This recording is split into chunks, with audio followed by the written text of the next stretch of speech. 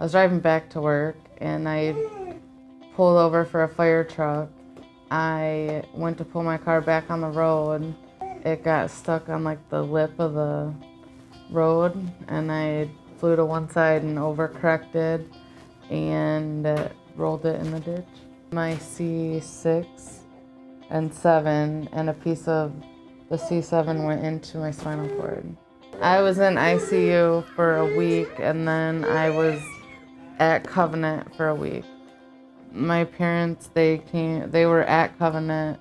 Mary Free Bed was at Covenant and they came and talked to my parents. How's that feel? More? Good. We're at 28.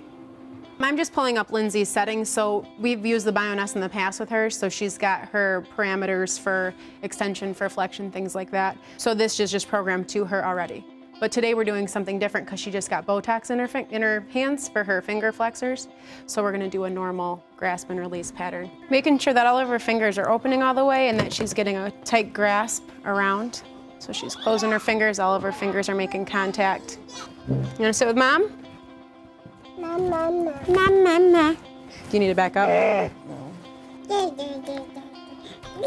What is it? Trade ya. I think she's therapy for everyone. Everyone loves her. At one point, there was a, a patient that had a dog, and her and the dog was a ridiculous therapy combo.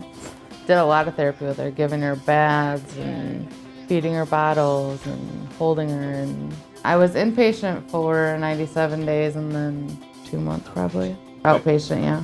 The staff is great. The nurses' aides are great. The nurses are great. The physical and occupational therapists are great.